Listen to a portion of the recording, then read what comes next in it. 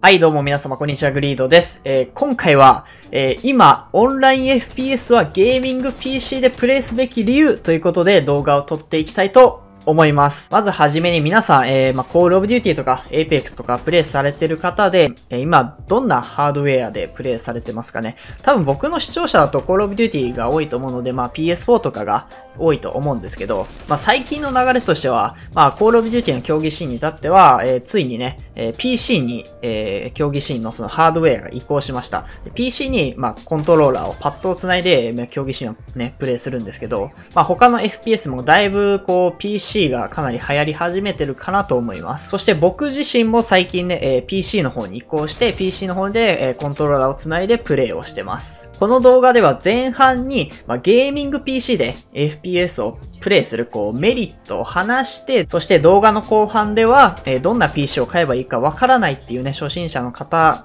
と、やっぱりゲーミング PC はすごくね、値段が高いのでなかなかお金が出せないっていうね、方へね、向けてちょっとね、情報を提供していきたいなと思います。さあ、というわけでやっていきましょう。じゃあ、まずね、ゲーミング PC でプレイするメリットをちょっと話していきたいと思います。まずね、やっぱりこれですね、えー高フレームレートと高解像度でプレイできること。これまでのコンソール版、えー PS4 や Xbox では 60Hz まででした。だけど PC では、えー性能とモニターによってもどこまでも、えーフレームレートと解像度を上げることができます。で、僕も今ね、えー 1440p の 165Hz のモニターでプレイしてるんですけど、もうね、めちゃくちゃ快適ですね。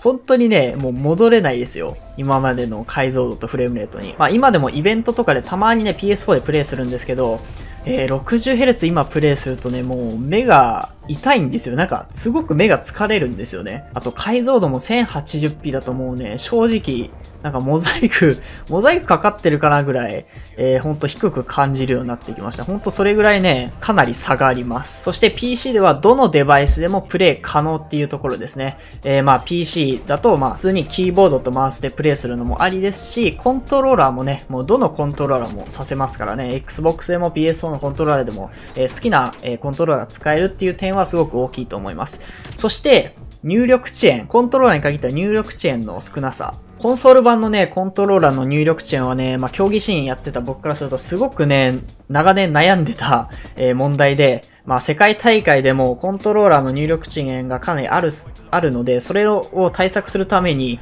一種のコンバーターのようなものを返して入力遅延をね、少なくしたりとか、いろいろ工夫されてたんですけど、まあ、PC だと、その入力遅延がほぼほぼほぼないので、まあ、本格的に FPS を取り組んでるプレイヤーからしたらすごくね、嬉しい、えーことだと思います。まあ、今話した通り、まあ、PC で FPS をプレイするといろんなメリットがあるんですけど、まあ、不安な要素も皆さんもちろんあると思います。例えばですね、人口面ですね。まあ、PC 版は昔からね、ちょっと人口がコンソールと比べて少ないなって思ってる方もいると思うんですけど、まあ、しかし近年はね、クロスプレイがどんどんどのゲームでも対応されてるので、本当にね、マッチングには困らないと思います。僕もね、COD はモダンオフェア、ブラックオプスコールドウォーとね、えー PC 版でプレイしてますけど、マッチングに困ったことはまあ一切ないですね。まあ、コンソールの方たちとも、えープレイできますし、で、そもそも最近ね、PC の人口もそもそも増えてるので、かなり PC プレイヤーの方ともマッチングすることが多くてですね、ほんとね、マッチングには全く困りませんね。さあ、そしてもう一つのね、皆さんの多分不安要素だと思うのが、値段のね、価格関連ですね。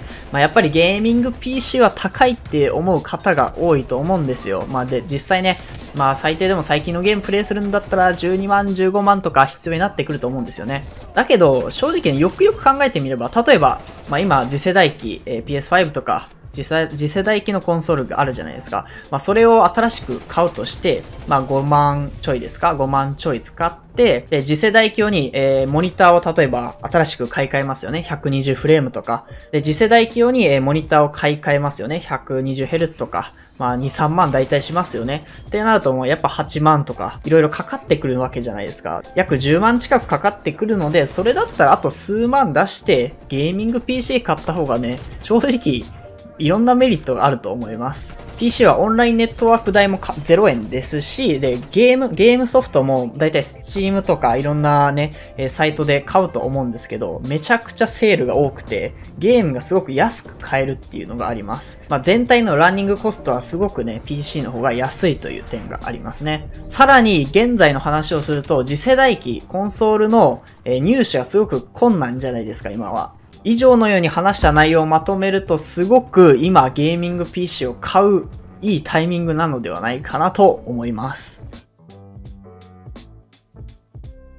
さあ、そしていよいよどんなゲーミング PC を買っていけばいいのかっていうのをね、話していきたいと思います。えー、今回紹介する内容は、本当にこれからね、ゲーミング PC を始めてみようという初心者の方ほどおすすめな内容になってます。えー、今回紹介するのは、レノボさんのスグゲーというね、えー、月額制で、えー、最新のパソコンやゲームを借りていくという内容になってます。もちろんね、普通にゲーミング PC を購入したいという方も、この後ね、説明するのでご安心ください。でもね、このスグゲーの内容めちゃくちゃお得になってます。このスグゲーどんな内容かっていうと、月額5900円から、えー、ゲーミング PC、あともういろいろるアクセサリー類ですね、えー、キーボードやらモニターやらも借りられます。で、ウェブで簡単に申し込みできて、で、アクセサリーつけ、ついてきて、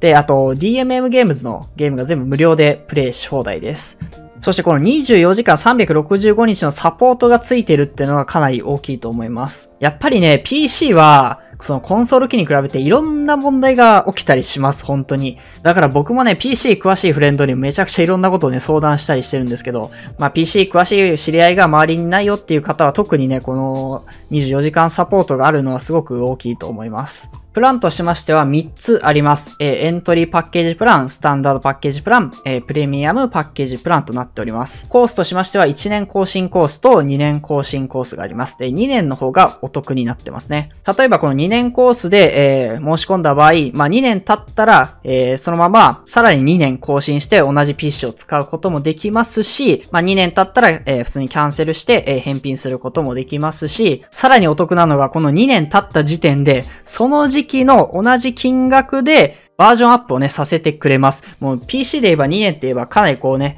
グラボだったり CPU だったりどんどんね、こう進化してるじゃないですか。その更新のタイミングで新しいパーツに切り替えてくれるっていうのがね、すごくお得になってます。まあ、例えばグラボ新しいのにするぜって言ったらね、いいやつだとほんと数十万とかね、しますよね。PC のパーツの入れ替えとか、えー、ほんと知識がないと絶対できないじゃないですか。でもそういうのも、えー、全部、タダでやってもらえるっていうのは、本当にね、えー、すごくね、いいサービスだと思います。そして全プラン共通の内容が、この、まあ、アクセサリーがついてきて、24時間サポートあって、で、DMM ゲームズの、えー、ゲームが遊び放題と、このアクセサリー類、どんなものがついてくるかっていうと、このレノボさんの、えー、キーボードやマウス、ヘッドセット、モニター全部ついてきます。しかもこのモニターですね、えー、144Hz 出て、えー、普通に買うなら3、4万するかな。えー、もう普通にいいモニターになってます。しかもですよ、皆さん。例えば、えー、2年経って大会します。で、PC とモニターは返却しますけど、このキーボード、マウス、マウスパッドなどは返却しなくても大丈夫です。この3つのね、えー、プランがありますけど、どれ選んだ方がいいのかっていうことなんですが、僕としては、このエントリーパッケージプランは、最新の、例えば Apex とか COD みたいな、えー、最新のオンラインマルチ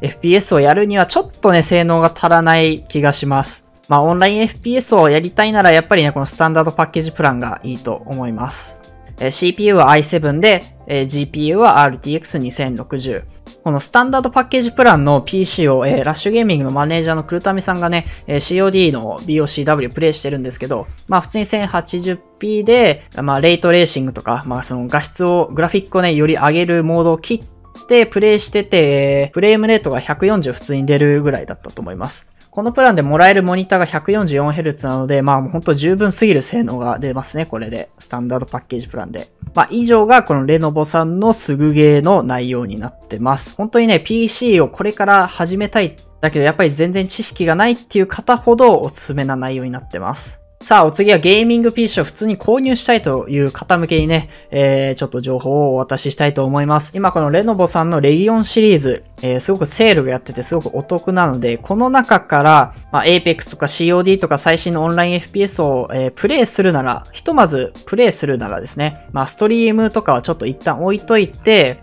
まあ、やっぱり買うならこのあたりですかね、えー、例えばこの一番左のレノボ、レギオン、T750i ブラックとかですと、えー、内容はどうかな ?CPU が i7-10700K で、えー、グラフィックボードが、えー、NVIDIA RTX 2070スーパーでメモリも 16GB あるので、まあ、ひとまずゲームだけするならこれで十分だと思います。たただ、こっからね、なんか配信をゴリゴリやっていきたいっていう方は、もうどんどんどんどん右になっていくかもしれません。まあ僕だったらゴリゴリ配信したいので、もう一番右の買っちゃうかもしれないんですけど、RTX3080 のついてるね、これ。まあここはね、本当に予算に応じて買えると思います。えー、例えばここの欄だと17万、約17万から、えー、26万までですね。結構細かくあるので、まあ値段、予算に応じて、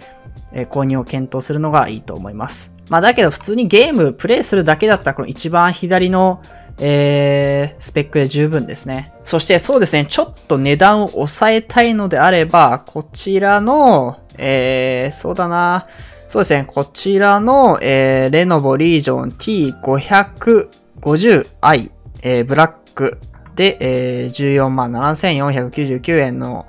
もので、これが i7-1700 のメモリ 16GB のストレージは 2TB のハードディスクと 256GB の SSD 付きで、えー、NVIDIA GeForce の RTX 2060、まあ、ちょっと値段を抑えるのであればこれですかね。もし SSD にもっとゲームを入れたいよとか、ハードディスクに、動画とかをね、もっと入れたいよって方はね、ストレージを追加で購入するのがいいと思います。そして僕から一つ言いたいことは、ゲーミング PC はやっぱりね、購入してから自分の方で知識をやっぱある程度つける必要必要がね、どうしてもあります。特に動画配信とかにね、どんどん力を入れたいっていう人は、本当にね、自分で勉強した方がいいと思います。どんなグラボがいいの？どんな SSD がいいの？とか、どんな配信設定がいいの？とか、本当ね、自分で調べて勉強する必要がありますし、僕でも普段からね、えー、勉強をしています。このクーポンの場所で、ラッシュって打つと、えー、割引されます。ちょっとね、まだ始まってないんですけど、えー、12月の16から31まで、えー、このクーポンが使えるので、ほんとぜひね、